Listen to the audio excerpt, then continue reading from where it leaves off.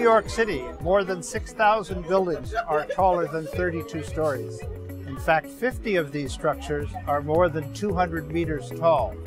Thousands of New York buildings are more than 50 years old, but were not designed for 50 years or more of usage. They may look beautiful from the outside, but they're not technically and ecologically sound. As you can see, the Empire State Building is not only tall, but has many windows. In fact, 6,500 windows that needed to be refurbished, renovated, and increased in insulating value.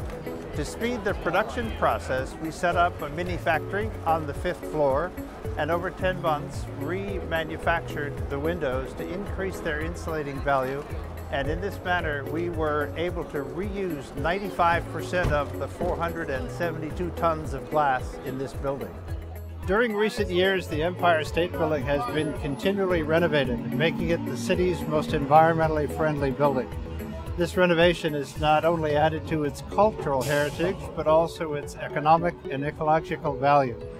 The support of Sika Corporation has been instrumental in having one global supplier of both systems and materials in support of general contractors.